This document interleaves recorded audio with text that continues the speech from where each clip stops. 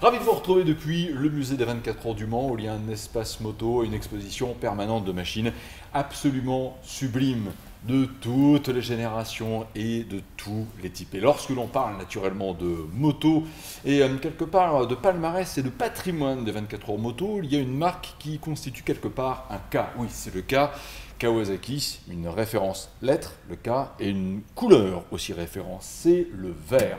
Parler de l'histoire de Kawasaki aux 24 heures moto ne saurait se faire sans concours de Michel Aubois. Bonjour Michel. Bonjour Bruno. Ravi de vous retrouver. Alors Michel Aubois, c'est vrai, bien connu même dans les pays de la Loire, parce que vous avez été en même temps concurrent aux 24 heures moto et toujours très proche aussi de Kawasaki France. On va commencer déjà par parler euh, de cette machine. Attention dans la prononciation, c'est la Kawasaki ZX7RR, Michel Aubois, dans la saga Kawasaki 24 heures moto et en endurance, c'est la quelle place cette machine ah, bah, C'était la moto mythique chez Kawasaki. Alors ça avait commencé dans les années 89 mhm. avec la sortie de la 750 Stinger, et puis ça a continué, ça a été une évolution, et euh, donc c'est la moto de référence chez Kawasaki dans les modèles sportifs.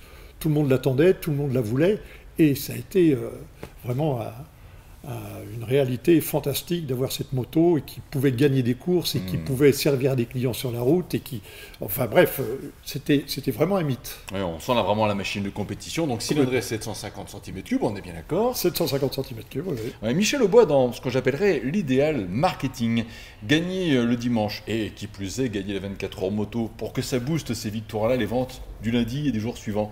C'est une réalité gagner en endurance, c'est au Mans, ça fait vendre c'est toujours une réalité. C'est vrai que c'est une image de marque, déjà, ah c'est entretenir euh, la course, la passion.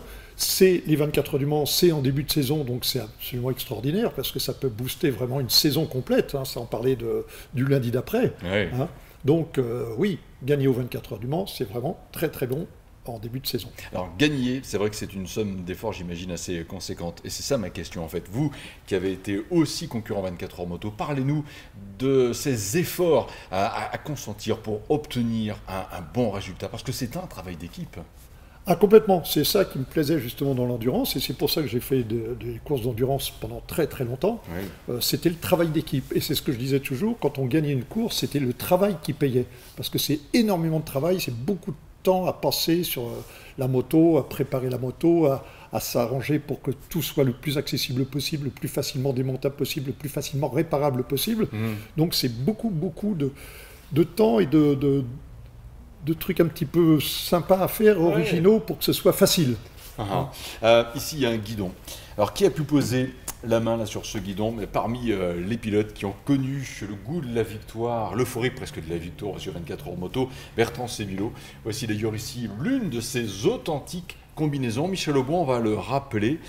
Euh, Bertrand Sébilo a été un excellent journaliste et qui a de surcroît été aussi très bon pilote puisque double vainqueur en 24 heures moto, c'est un cas rare. Un cas relativement rare, c'est vrai, et c'était quelqu'un déjà qui était c'était quelqu'un qui était absolument passionné, qui roulait tous les jours en moto, c'était vraiment le passionné de la moto, et qui est devenu pilote, et qui est devenu très très bon, et qui a été pilote officiel. Il a été pilote officiel sur la Kawasaki, sur cette Kawasaki il a gagné les 24 heures du Mans en 98 et en 99. Alors quels étaient, euh, je dirais, ces, traits de, caractère? Parce que c'est quand même pas facile hein, de passer euh, euh, d'un statut d'essayeur, rédacteur, à pilote, avec des chronos, des relais à, à respecter. pas évident tout ça. Bah, c'était déjà un passionné, un vrai, vrai passionné. Mmh. Euh, il avait beaucoup de charisme, il aimait beaucoup, il était perfectionniste parce qu'il aimait beaucoup les, détails, soigner les détails. J'avais travaillé beaucoup avec lui quand on a fait une moto euh, ensemble, on a fait une ZX12R, qui a mmh. participé aux 24 heures du Mans. Et il était, j'avais découvert quelqu'un de, absolument fantastique parce qu'il était toujours à chercher le petit détail, toujours à améliorer.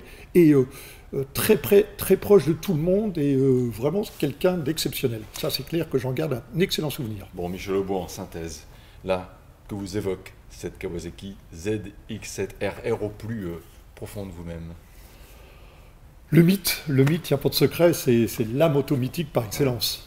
Ah, c'est vrai que oui, oui, elle a fait rêver des, dizaines de personnes euh, depuis la sortie de la Stinger en 89 hmm. jusqu'à jusqu'à cette évolution. Ça a été le dernier modèle en 99. Euh, ça a été une moto mythique et qui a, qui a procuré beaucoup de plaisir à beaucoup de personnes sur la route aussi. Parce qu'en fait, c'est dérivé d'une moto de série. Hein. Et eh oui, c'est aussi la magie finalement de, de l'endurance. Merci beaucoup, Michel Aubois. Bonne, euh, bonne trajectoire aussi euh, à vous. Et voilà, le cas Kawasaki euh, aussi évoqué à travers cette expo moto, cette collection en permanente à voir au musée des 24 heures du Mans.